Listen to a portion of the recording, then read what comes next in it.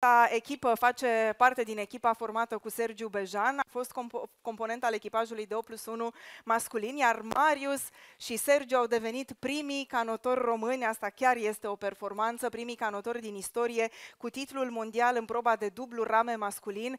De altfel, au câștigat anul acesta și aurul european. Ce an frumos și ce performanțe istorice, doar în 2022 e de-abia începutul, băieți. Mulțumim și felicitări! Unul dintre voi trebuie să-și facă curaj să vorbească și la microfon. Marius, hai! Am câteva emoții, uh, nu numai atunci când uh, o privesc pe Ionela în uh, competiție. Un an, un an foarte frumos, frumos pentru noi, un an cu multe surprize, chiar dacă la început de an nu știam ce va, va fi, pentru că am, fac parte acum din acest echipaj cu uh, Sergiu Bejan și uh, îi mulțumesc pentru că am, uh, ne-am înțeles foarte bine de la început, pentru că a fost receptiv de la început și că ușor, ușor performanțele noastre au început uh, să vină și uitați că am uh, reușit să fim, uh, să ajungem primii campioni mondiali la proba de dublu rame masculin și asta ne face foarte mândri. Vă mulțumim tuturor pentru că sunteți astăzi aici, în această locație frumoasă. Uh, Ciprian a zis că poate la anul vom fi într-o altă locație. Cred că s-a gândit că vom fi mult mai mulți și nu vom mai uh, încăpea în această locație. Va trebui ceva mult mai mare.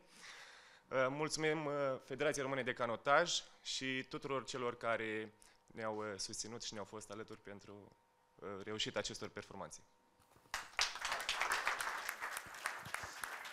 Și pentru că sunteți unici până acum, singurii campioni mondiali în această probă atât de frumoasă, atât de sensibilă. Consilierii a venit cu un stimulent în plus pentru voi.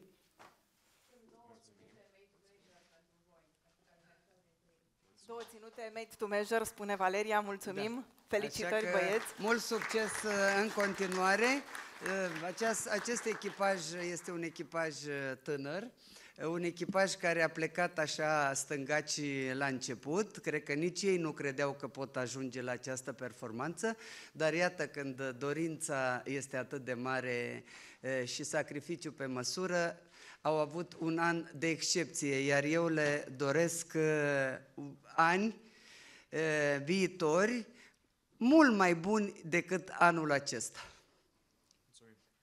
Așa să fie. Felicitări, băieți, felicitări și vă... Legea atracției, da. Pentru că spunea doamna Lipă chiar la începutul acestui eveniment cât de importantă este și susținerea locală sau autorităților locale.